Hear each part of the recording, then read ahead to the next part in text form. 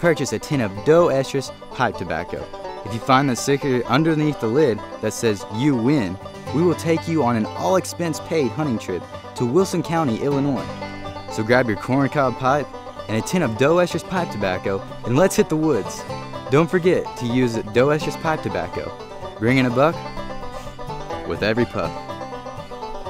Wow, seems to be working right now.